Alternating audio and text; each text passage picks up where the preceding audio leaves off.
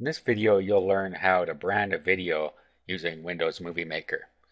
Then you can take this video and you can upload it to any video services, or if you're selling a video and you don't want anybody to have the rights to sell it, you can brand it with your company name or your website name. the first thing you're going to need is Windows Movie Maker, which is free software that's most likely already on your computer. The next thing you need to do is have a video that's either in WMV, which is Windows Movie Maker format, or in AVI format. Then what you want to do is import your media. So just click on this to import your media from your computer. Then you can import as many as you want because they're just coming into the clip bin. Okay, so here it is in the clip bin. Now all you have to do is drag it down to the timeline by left clicking your mouse, holding it down, and then drop it into the timeline. Next thing you want to do is go into Tools and then go into Titles and Credits. Then click Title on Selected Clip. And then you key your text in here. And you can put whatever you want here, just your website name, not for sale, property of, website name, or whatever. So we'll just put property, or we'll say see more at, and then website name.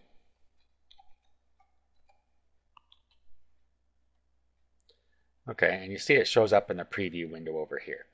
Now what you can do is you can go and change the animations, which we want to do first. And I, you can use any of these you want, but I like to use the fly in and fly out. I just see it flies in, then it flies back out again.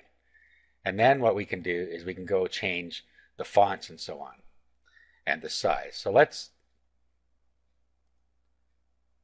you can also change the color here. So I'm going to change it to black. And then what we're going to do is we're going to reduce the size so that it all fits on one line.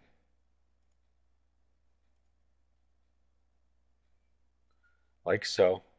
And now we're done. We click Add Title. Now we can go down to our timeline and drag it across here. And then we can make it longer just by putting our mouse over top till the arrow shows up, holding down our left mouse key, and dragging it out. Now if we play our video in the window here, you'll see that it flies in and then it will fly out again when we get to the end of the timeline where it is. So just watch carefully here. And there it goes. Now, if you wanted to make a copy of this, you could just put your mouse on it and do a copy and move your timeline across and then click up here to put a marker there and then right click down here and just click paste. Now you've added that down here. If we drag this across now, you'll see that it flies in there. And it flies out at the end. So that's how you can put it multiple times in your timeline. So that way you can brand it more than once in your video. Now at this point, all you have to do is click Publish Movie, and then you click this computer, go to Next, give the movie a name, and then pick where you want it on your computer, and then click Next again. You can select best quality is the best thing to do here, and then just click Publish. Now the movie will publish itself, and you're all ready to upload it or to sell it or whatever it is you want to do with it. And that's how you can brand your own video using Windows Movie Maker.